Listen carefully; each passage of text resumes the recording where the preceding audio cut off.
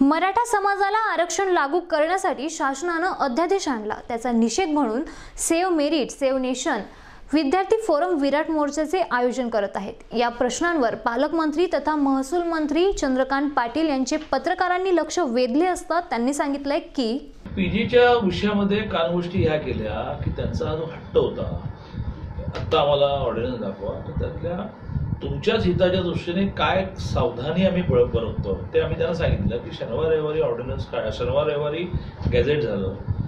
तर सुट्टीच्या दिवशी गॅझेट कसं गेलं? हा एक लिगल पॉईंट होईल.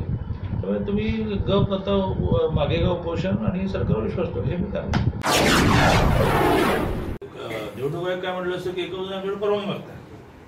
परवानगी मिळाली तर तुम्ही गोळीत करताय. तर त्या बैठकीत काही सांगण्याचा विषय नव्हता. या बैठकीनंतर निवडणूक आयोगाची परवानगी मिळाली होती. मंत्रिमंडळ सांगण्याचा विषय सांगितला की अध्यादेश झाला अध्यादेश झाला. तर अध्यादेश झाला.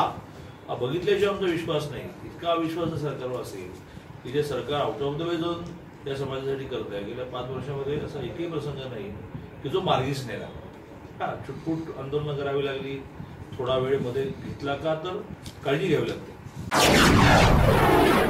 असं आहे की विश्वासच नसेल तर काय विषय वेगळा पण प्रत्येक गोष्टीला काही कायद्याने राज्य चालत असल्यामुळे प्रोसिजर आहे.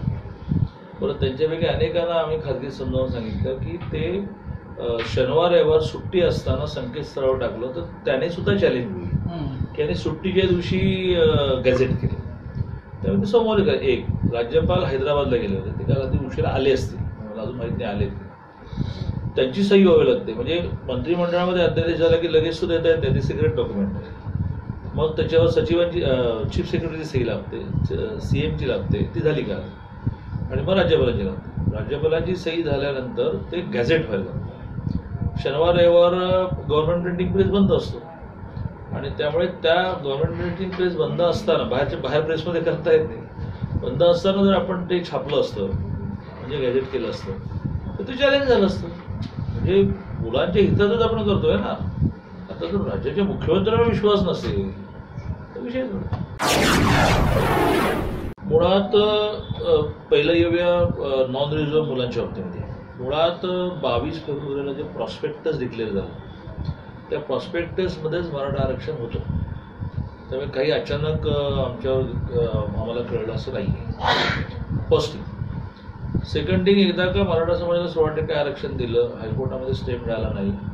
या पोस्ट ग्रॅज्युएशनच्या मेडिकल ॲडमिशनला चॅलेंज झालेलं पहिलं हायकोर्टात फेटाळलं. सुप्रीम कोर्टाने फेटाळलं.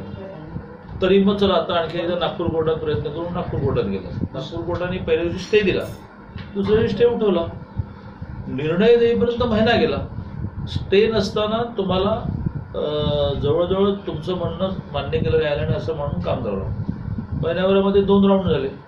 तर दोनशे मुलांना ॲडमिशन दिली गेली. आणि मला यायला म्हणते की आता- नाही नाही नाही तुम्हाला या वर्षी मिळतात एक तर बरं झालं की या निमित्ताने हे प्रूव्ह झालं की ह्या वर्षी नाही तर पुढच्या वर्षी तुम्हाला ॲडमिशन देता येतात हे न्यायालयानेच म्हटलं पण हे म्हणायला वेळ लावला तुम्हाला ॲडमिशन झाली.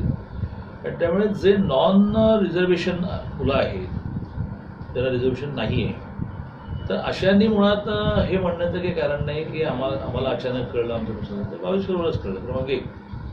क्रमांक दोन म्हणजे आता शासनाने वाढीव सीट मागितली. एकवीस तारखेलाच त्याची बैठक आहे. रुटीन बैठक आहे. अनेक राज्यांनी मागितले आपण मागितले. त्या मिळाल्या तर आपण पुन्हा तोपर्यंत ॲडमिशन प्रोसेस संपेल. पुन्हा जाऊन हायको सुप्रीम कोर्टात परवानगी मागायला लागेल. किंवा आमची ॲडमिशन प्रोसेस कंप्लीट झाली जेवढे आहेत तेवढेसे आता वाढीव मिळाल्यात काय करू सांगा.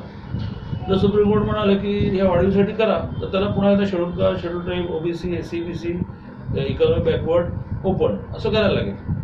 त्यात पुन्हा आणखी म्हणजे ह्यात मुळात किती टक्के मिळतील तर सगळे रिझर्वेशन झाल्यानंतर बावीस टक्के मिळतील.